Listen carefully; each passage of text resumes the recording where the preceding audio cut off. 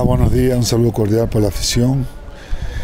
Gracias a Dios tengo una gran amistad con el profesor Pacheco. Por medio de él eh, tuvimos la invitación de acá de, de la prefectura y aquí estamos, ¿no? gracias a Dios creo que hubo un buen viaje esperando de que a veces dice uno el resultado no es el, el que uno aspira, uno cree que creo que la aspiración de nosotros es de ir formando muchachos y eso es lo que tratamos de hacer.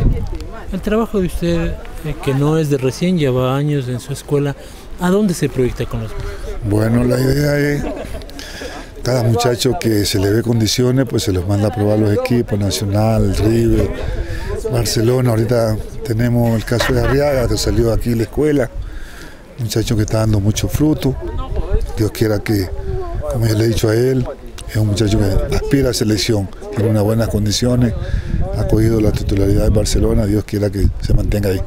Este tipo de trabajos con esta nueva formación aquí de la prefectura entiendo de que va dando la buena oportunidad para poder ver la evolución de cada uno de los chicos. Mire, sí, yo creo que esto le da de que el fútbol se esté manejando de una forma global, aceptable, porque la prefectura está haciendo un trabajo en Guayaquil. La mayoría de los compañeros míos están trabajando en la prefectura. Yo tengo, mi, tengo dos escuelas en Guayaquil propias y gracias a Dios las cosas me van bien.